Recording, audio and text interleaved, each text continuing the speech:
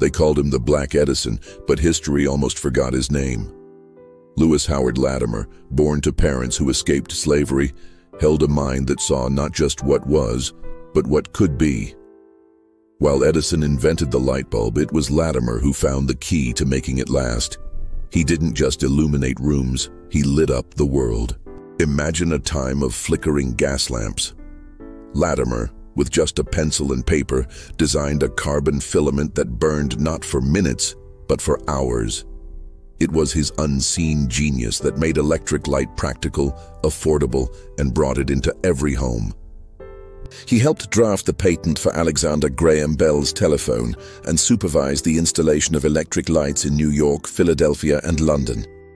His brilliance was a quiet force, a hidden current powering a new age. Lewis Latimer proved that the brightest lights often come from the shadows, their stories waiting to be told. Let's remember the names unseen, the minds that truly shaped our modern world.